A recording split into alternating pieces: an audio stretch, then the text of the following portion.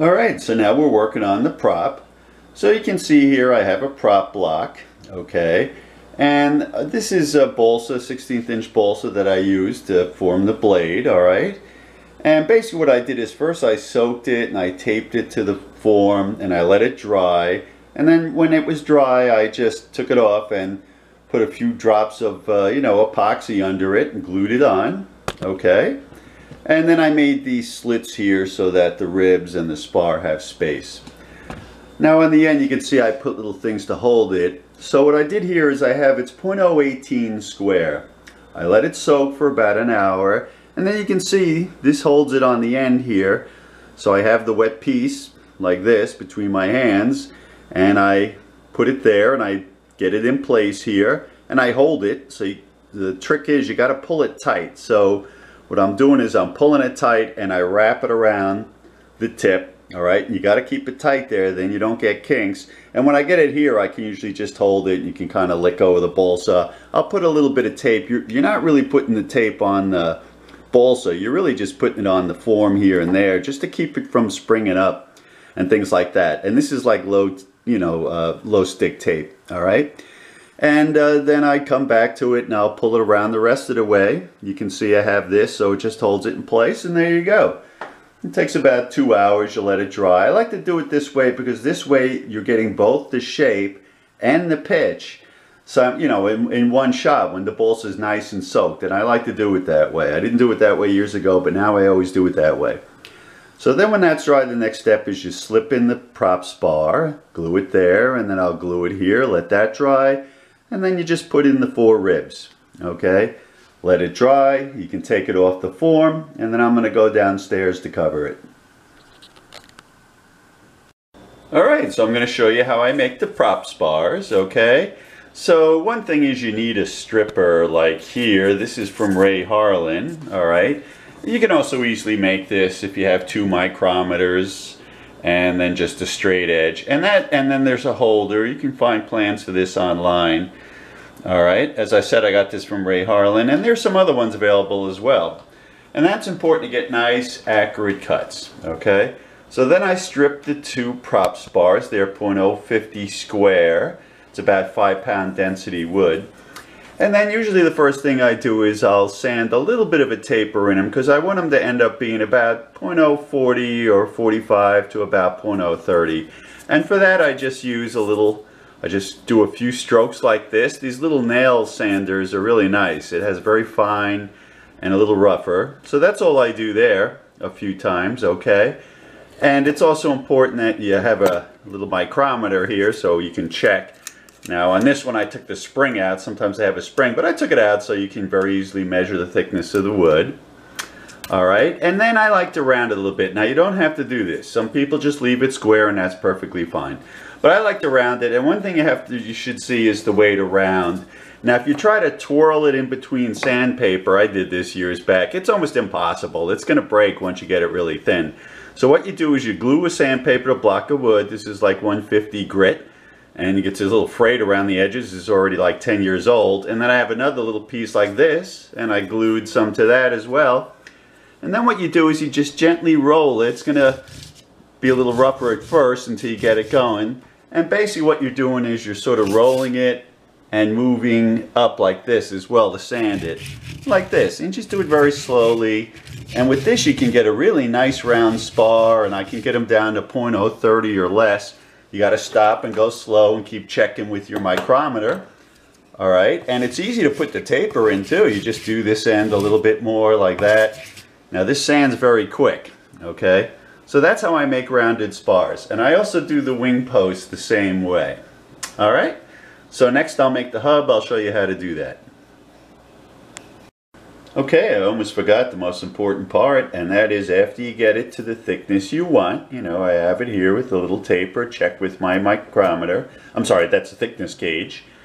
All right, then um, what you do is you have to check the stiffness of the spars, okay? And so I have a little jig, you can see it here, and what you do is you simply put it in there like that, just slips right in. Now you can adjust this angle to make sure that it's at zero on this side, and then you get it behind the wire, and there you go.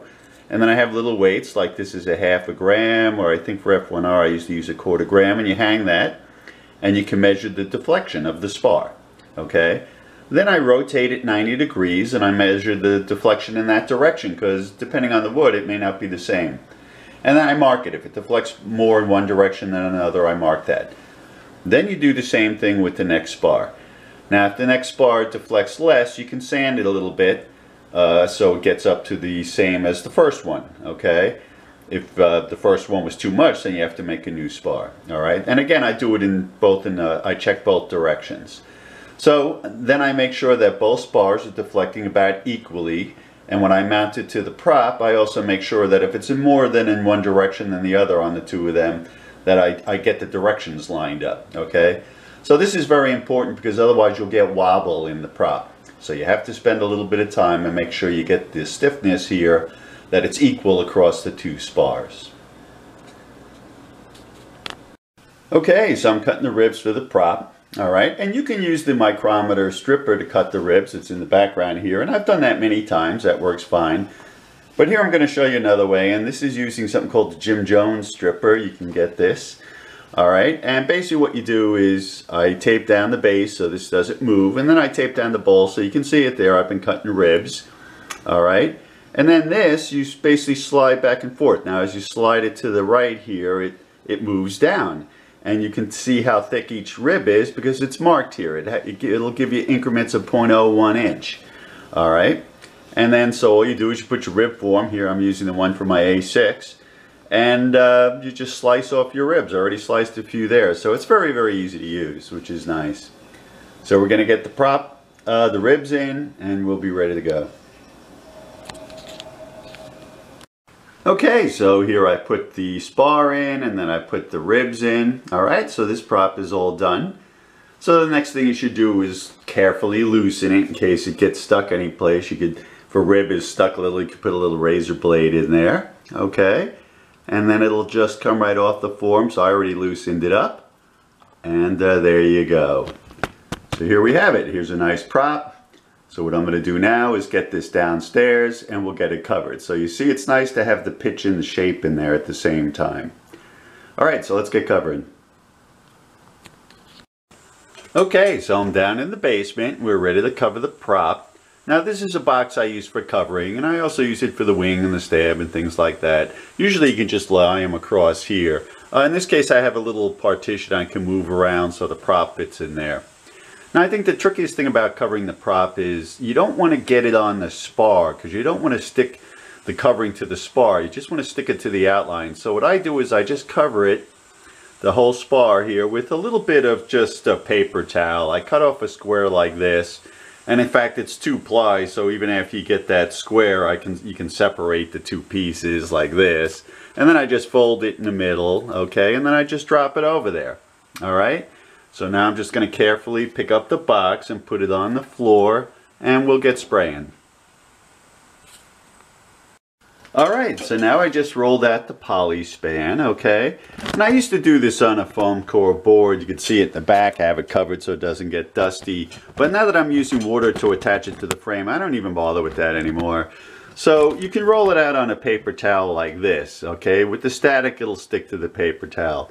And then what you want to do is just to crinkle it, and this will both decrease the stickiness and it'll also add a nice little texture to it.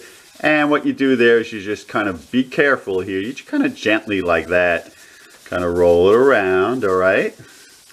And uh, just so you get some nice creases in it. Okay, I've done it smooth too, but I think it's nicer with the, with the creases. And then you can kind of just open it up again.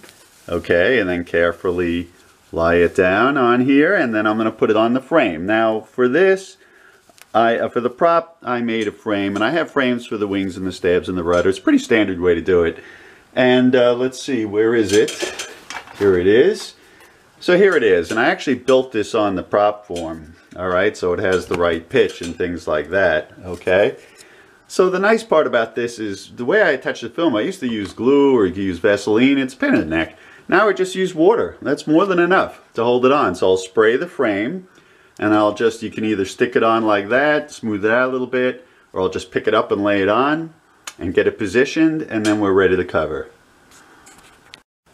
Okay, so now I'm ready to spray Now for spray I just use this 3M Super 77. This works fine. You'll notice I have a paper towel on my finger because you don't want to get any sticky on your finger. Okay? And there's the prop in the box. Now here's the important thing. You never in indoor spray directly on the structure. I never spray directly on the structure. What you do is you spray over the structure and you let the spray settle down onto the structure. Alright, so I'm going to do it here for the prop. So here we go. I'll just test the spray. Looks good. And here we go. And there you go. I don't know if you can see that, but I just did a light mist over the prop. Now I like to do it from both sides just to make sure it's okay. So let me do it here. And there you go. And I'm pretty far away, okay? So now I'm just going to pick it up and drop it onto the form and I'll show you that. Alright, so now I carefully laid the prop down on the covering, alright, and so it's ready to cut out. Now to cut it out I used a soldering iron, okay, an adjustable one, and you got to find what works for you. You can see here I have it set to a little less than half, alright, because you want it to just melt the film and not burn the balsa. If it burns the balsa, you got it too high. Okay, so you just want it to just melt the film. And also make sure, I, usually the first thing I do when I'm ready to cover is, and I come in the shop, is I turn on the soldering iron. Because it takes a good 15-20 minutes really for the temperature to completely stabilize, alright? So I'm not going to do it on film here because I need both hands and I have to pay attention to what I'm doing. But just to show you here, let me grab the soldering iron, okay? I'm not sure you can see this, but you'll see the film very easily melts all right like that and then what I do is I usually try to get within about a 16th inch and then just carefully go around the frame and cut it out I leave it hanging a little piece here on the end until I'm ready to trim it on the end so then I cut it here so I can hold it and then I'll finally trim the end and the prop is off. Alright so I'm going to cut it out now. Alright so there you go. So now I got it cut out. I'm going to bring it upstairs and put it in the hub Okay, so for the prop hub and for the wing uh, sockets, I roll tissue tubes, and here they are. And I kind of plasticize them by hitting them with CA. So I'll show you how I roll that. I like doing it this way because you can do whatever size you want. So here's what I'm using for the prop spars. This is 0.048 wire. You can see I have one on here. Okay. And here's even smaller, 0.040. I'm using these for the wing mounts. Alright, so there it is again. And here's basically how I roll them. So I'll roll one right on this. Let me just move this out of the way. So the first thing I do is I, uh, let me get over here, I rub the wire with uh, some uh, crayon. Just get some wax on it. You can actually see it going on. It kind of dulls it down. I use a light color because uh, it'll show up on the tissue. Not that it's a big deal. If you use red or something, you'll see it on the tissue. Then I get some tissue paper, all right? and I'm not too ambitious. I usually roll a piece, I, am not roll, cut a piece maybe. This is about two inches long at about a half inch or less wide. You want to save weight on F1R. I've done it with even less. So one little trick is I do it the same way when I talked about rolling the fuselage. I make a little corner here. I just fold it over a little bit because that helps to tuck it under when you get it on the wire. Okay, now I don't know if I can do this on camera. I'm at a weird angle here, but uh, let's see. So then you get it on the wire, all right, like that, and you'll see that little lip helps you there, and you just kind of pull it tight because you want to get it smooth, and you just got to get the lip going, basically, all right? So let me give it a shot here, and there you go, I got it. So I'm pulling it tight, and uh, that's it. You just roll it up. Now when you got it nice and rolled, you hold it with a finger. And then I grab some ambroid and I'll put that in there. Okay, like this. You see? Also get it on the edge because you want to try to stick the edge down if you can. Alright? And then you can roll it the rest of the way. Okay, so there you go. Try to get the edge down, spin it around a little bit. Now it's important you move it or turn it right away on the wire like this, you see, to make sure it doesn't stick. So you can see I can move it, I'm twisting the wire a little bit. It only takes a minute or two for the ambroid to set up, okay? And it's nice and loose. And there you go, it's almost set already. So you can kind of smooth out the edge. Or if you have an edge that sticks up or something like that, just, uh, you know, hit it with a little bit of, I, I mean, I, I actually just trim it off because it'll save weight. So you can see I have it on there and it's nice and, uh, you know, it's drying. There, there, now it's dry and it's, now, whoops, the other one came off and it's nice and loose. Oh, I'm sorry, I'm too low here. Okay, so there it is. It's dry, it's nice and loose. We're ready to go. So what I do is I'll trim the end off on the wire okay? Because that didn't come out, the ends usually don't come out quite as nice as the middle. And then I'll show you the next part, all right? So normally if this was like for a wing thing, I would just slide it like this and soak it with CA, let it dry, flip it over, and do the other side and we're done. And that makes like almost like a little plastic. I know people buy some expensive plastic, but I like doing it this way. And you can make whatever custom size you want. All right, so I'll show you the next part. Okay, so the next thing I do is I cut off a piece about the length I want. For the prop shaft, it's actually it's a little under uh, three quarters. It's probably about six eighths. Then I have a little bit of .050 balsa, square balsa left over from the uh, prop spars. And so I cut a piece, I don't know if you can see this or not, it's just about a quarter of an inch long. That's going to make a little hub. So then what I do is I mark the middle of it, of this, and then I insert this, there's already one in there, and then I just hold it up to the light, you know, and push it in with a smaller wire, like a 30 second, until it's centered. I can see now that it's centered, okay? So then I made the prop shaft, all right? And I've tried down to 0.008 wire, but I thought that was a little bit too low. So I'm back to 0.009. All right, now make sure on the end where you cut it, let me grab it. Uh, on the end where you cut it, I use either pliers like that, this, these are the Xuron, and they make a nice square clean cut. Or on the other hand, if you just have snips, make sure you get a file and you file it a little bit on this end because you don't want any burrs to affect the rubber, okay? So I already did it, I cut that. So now what I'm going to do, and I just do this by eye, I, I find a hole there, I'm going to poke this through, okay, through the balsa. And I'm going to get it the right length, bend it, and then I'm going to kind of glue it in place with a little ambroid. Okay, and after I'm done with that, then finally I'm ready to CA it and I'll show you that. Alright, so I got the prop shaft in there, and you got to make sure it's nice and aligned, you know, everything is straight. I also like to let it kind of bend down a little bit so it pushes up against it a little as well. And I put some ambroid on that and then, you know, thoroughly let it dry. Wait at least an hour. And then the next part is I'm going to soak it with a little CA. All right, so have it facing down so it doesn't run up. And here's a CA, okay, so it's very thin. Do this over a paper towel. And then what I do is I just hit it with a drop like this to get it thoroughly soaked. And then also you got to tap it out here on the end. Let me do the other side. And again, tap it out You'll actually see some glue coming out. I hope I'm not off screen here. If you want to be sure, you can use a toothpick and kind of put that in. You see that'll soak up any excess that's on the inside. And then you'll see it looks kind of shiny, all right? It's fairly well soaked. So then I'm just going to let it dry here. All right. There it is. Now you really got to let it dry for a while, like a good, you know, hour to really solidify. And then you should be uh, pretty much ready to go. So here it is. I've let it dry for a few hours. So the next thing I do is I, you know, clean the shaft off here. I get a knife here and I just scrape a little bit because you might have a little glue on there, some ambroid or CA. And you want to clean that off so that the washers sit up nice and tight against this, okay? So then I put the washers on.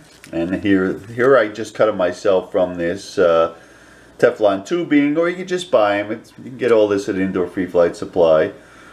All right, now make sure you use two because that has less friction than if you use one. Okay, so the total weight of this ended up being 20 milligrams, which is pretty good. All right, so the next thing is we're going to put the props in and then we're ready to go. All right, however, I like to let this sit overnight, let everything fully cure and dry before I put the prop blades in. Okay, so we'll do that next. Alright, so now I put the prop in the hub, and there's three things you got to do. First, you got to put the prop in and accurately measure the length, okay, to trim the end off. I always do that when it's, you know, in the hub. All right. Now, once you get the first one in, the important part is to make sure the second one has exactly the same length. Spend a little bit of time to make sure it's exactly the same length. All right.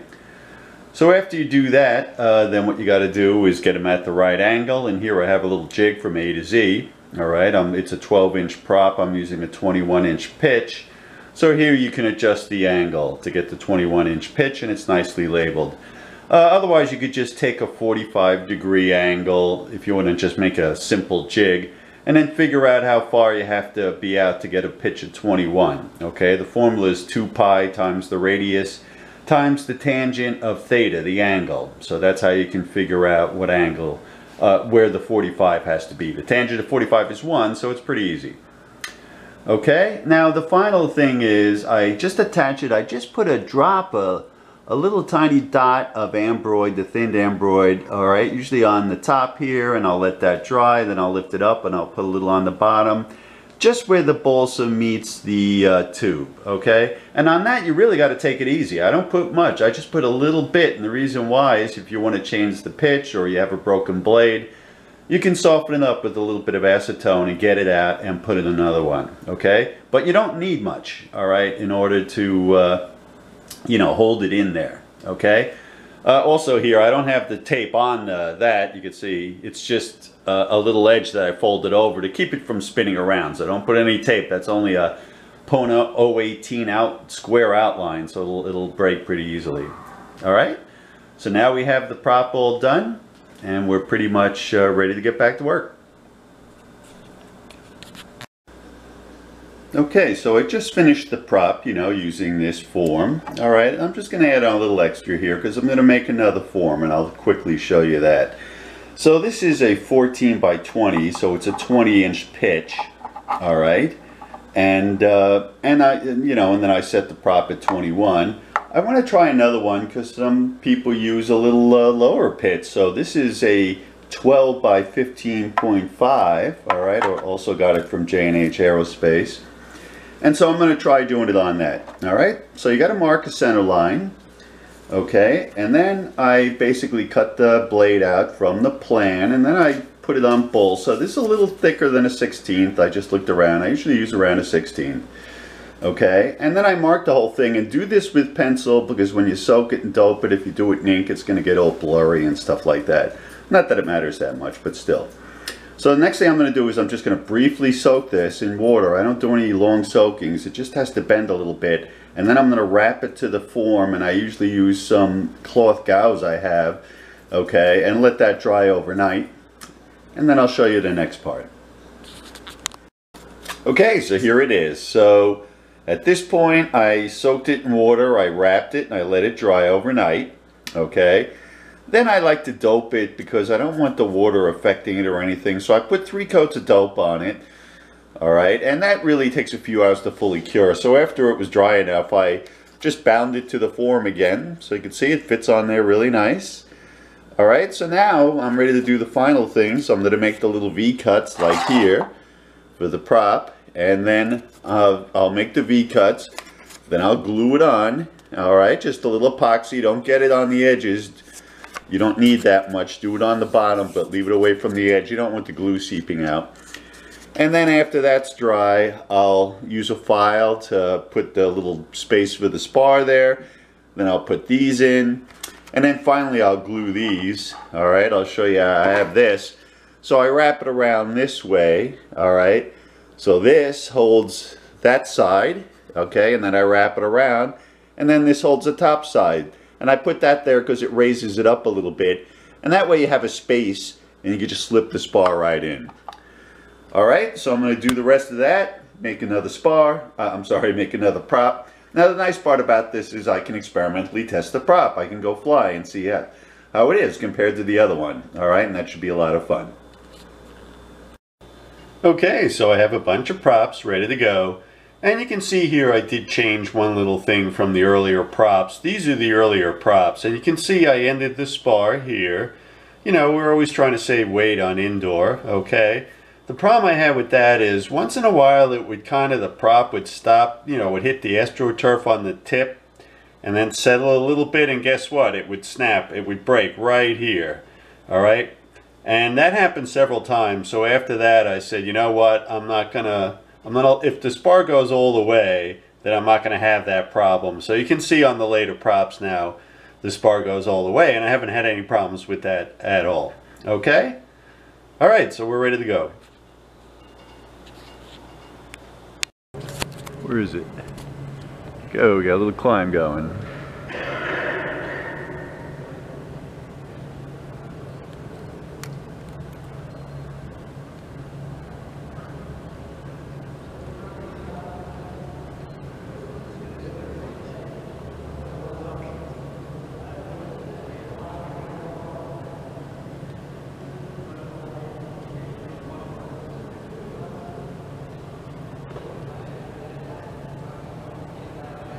Let's see, I hope I don't go too high here. Nice climb going.